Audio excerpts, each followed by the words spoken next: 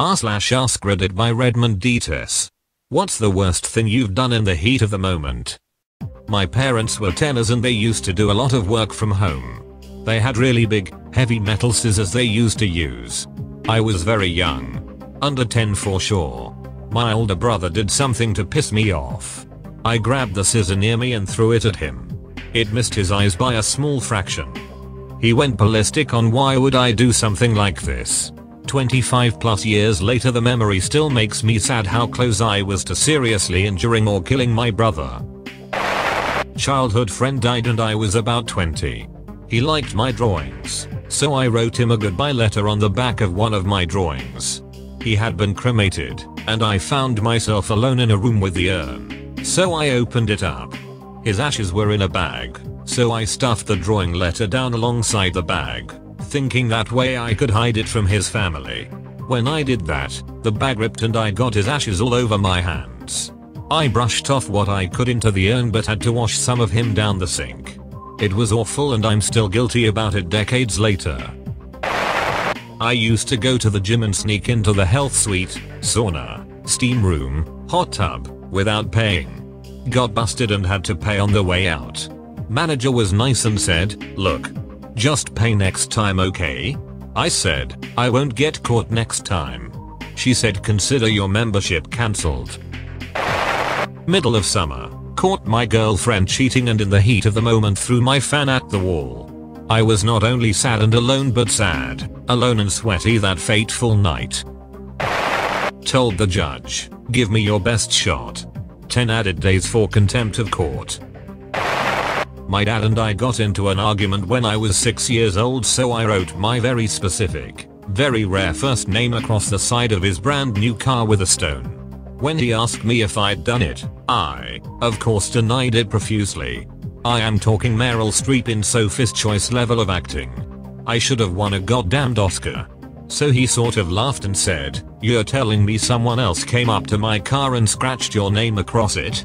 I denied it for a whole afternoon while, in fairness to him, my father giggled to himself. I couldn't figure out why he was giggling. Surely he was going to skin me alive later and wear me around town of a cold evening. He said he couldn't help laughing because the lie was so ludicrous but I stuck by it so resolutely that it was one of the funniest situations he'd ever been in. He knew he should punish me but it was also so marvelous he couldn't bring himself to be angry. I'm nearly 36. Every time he gets a new car now he says you're not mad at me for something are you before he shows it to me. I guess I earned that. Your dad sounds like an incredibly patient man. A lot of fathers wouldn't be able to get themselves to laugh in a situation like that. Texting when I'm pissed off. The anger goes away, the text remains for eternity. I don't know about heat of the moment, but when a cop asked why I thought I could go that fast down that road I, without thinking, responded.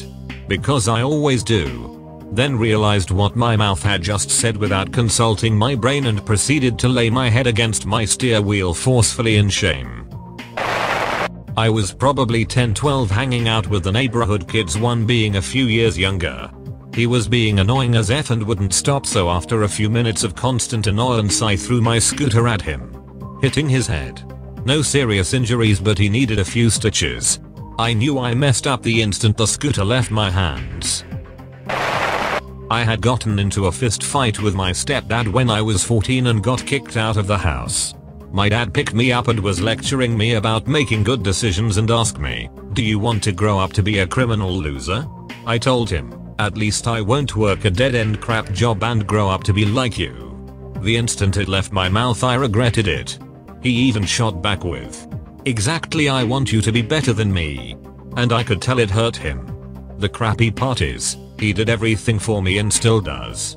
That conversation pops into my head from time to time and I still feel horrible about it. Edit. I did apologize to him later that same day. What I said came from a t place and he knew that. Regardless I still think about it and it bothers the hell out of me that I could say something like that to someone who did nothing but try and make my life infinitely better than his was growing up. I didn't do it but it happened near me. I was working construction one summer, and the veteran guy working with me got into a fight with the foreman and came back to the floor we were working on all pissed off, kicking things around.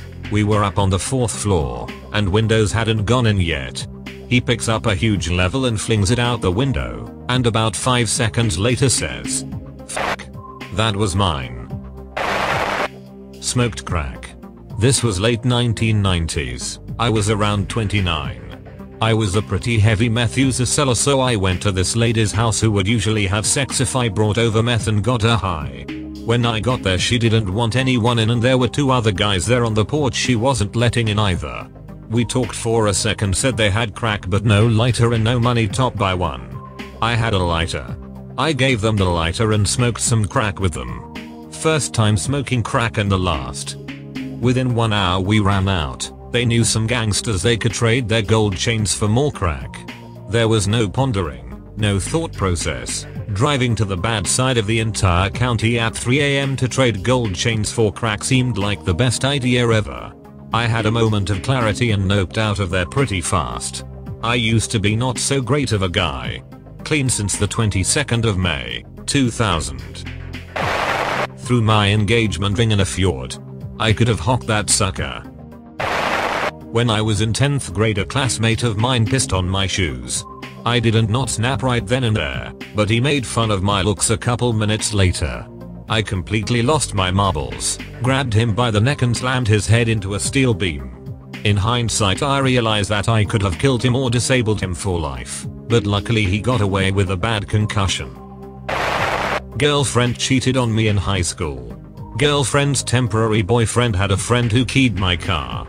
She told me who did it and I decided the best way to handle it was to take a plunger stick and go into his job at the mall and beat him in the face with it until the stick broke. Not my proudest moment. My oldest son was still a baby and I was a fresh teenage dad. It was the middle of the night and he was screaming. I was sleep deprived and I was getting screamed at in my ear, and he was sick and cranky and nothing would help. I went to move him and his baby fist hit me in the eye or something. But either way, I swatted it away really fast and hard and he cried even louder. I kept rocking him and crying and holding him even after he fell asleep. I felt so bad. Almost 9 years later and I still feel awful about it.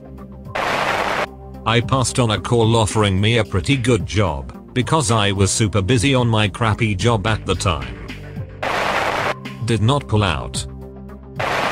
I work hospital security, and we hold a lot of violent psych patients until they can be transferred to a behavioral facility. This surprisingly strong old man assaulted a nurse when she was trying to change his briefs, and I responded first. I was wrestling with the guy and trying to hold him in the bed until backup got there. He finally calmed down, looked me in the eye, and told me something to the effect of, when I get out of here I'm going to kill you and rape your wife. And I responded, Big words for a man in a diaper. I've never seen anyone rage harder. Dude genuinely tried his best to kill me. But thankfully my co-workers got there right afterward and nobody got hurt. Gifted someone a ridiculous amount of money.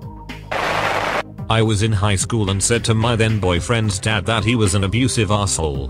The consequences of that were just awful. What did he do and what happened after that?